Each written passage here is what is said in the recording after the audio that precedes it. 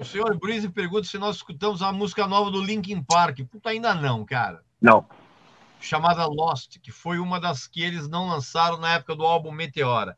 É, pois é, bicho. Eu, tem, eu tenho muita coisa para fazer na vida do que eu ficar ouvindo música que ficou de fora do álbum Meteora, você tá entendendo? Disco chato pra Dedel. E mais, mais cheio de chororô, pelo amor de Deus. O Paulo provavelmente deve ter ouvido. Você ouviu, né, Paulo? Não, não, não, não ouvi ainda. A vida é curta para perder tempo ouvindo